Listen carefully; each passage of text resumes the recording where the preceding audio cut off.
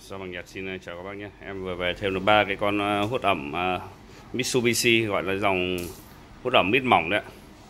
Hàng nội địa điện 100V Cái dòng này thì uh, chung là rất là được nhiều các bạn yêu thích. Đấy. Nó rất là mỏng gọn các bạn Rất mỏng gọn nhé. Chạy là êm ái. Thiết kế mẫu mã đẹp. Lấy gió cửa trước khá là tiện. Lấy gió cửa trước ba con này thì nó đều uh, giống giống nhau. Công suất hút uh, theo cái tiêu chuẩn Nhật với độ ẩm 60% là 10 lít. Còn nếu theo cái tiêu chuẩn độ ẩm của Việt Nam thì ờ, uh, 80% thì con này sẽ hút được khoảng 16 lít. Công suất của nó sẽ tương đương với những cái con hút ẩm uh, điện 220V 16 đến 18 lít các bác nhé. Quay các bác xem từng con dòng hút ẩm Mitsubishi.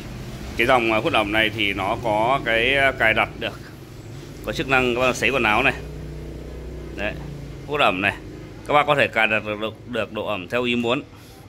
Đấy, ví dụ các bác muốn cài độ ẩm xuống 60 phần trăm thì máy sẽ hút đến 60 phần trăm thì là sẽ nghỉ. Đấy, hút ẩm theo cài đặt bình cài đặt được các bác nhé. Đấy, theo ý được luôn. Đấy. Còn mấy con này đều cài hút ẩm theo ý được nhất nhé. Đảo cánh gió hẹn giờ các kiểu à. không này, hẹn giờ thấy đảo cánh gió hẹn giờ hút ẩm 55 phần trăm này.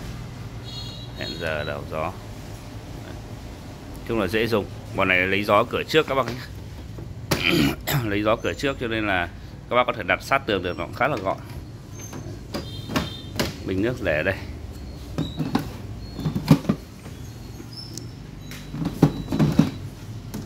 Ba cái con này nó công suất từ mọi thứ giống hệt nhau cho em đăng luôn cả ba con cho nó tiện nó gọn.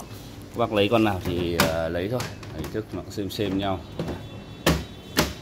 Giá em bán là ba triệu rưỡi một con nhé. Bảo hành một năm chưa phí vận chuyển. Chi biến áp ạ.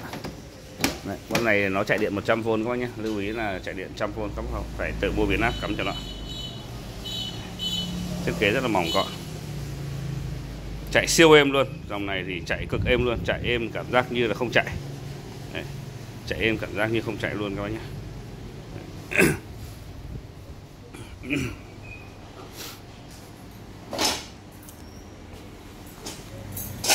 chào các bác nhé